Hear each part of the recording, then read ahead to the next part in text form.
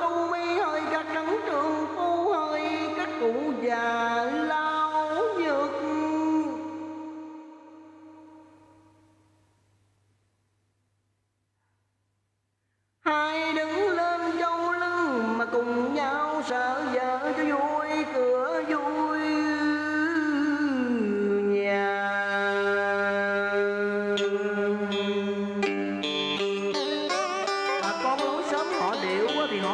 đu vợ ngang, còn họ ghét họ đôi thờ ừ, bà.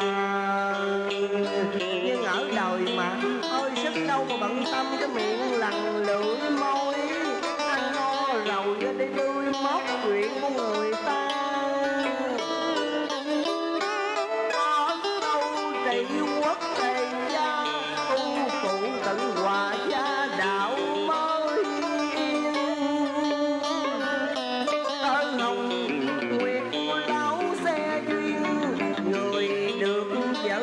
con người rinh con vợ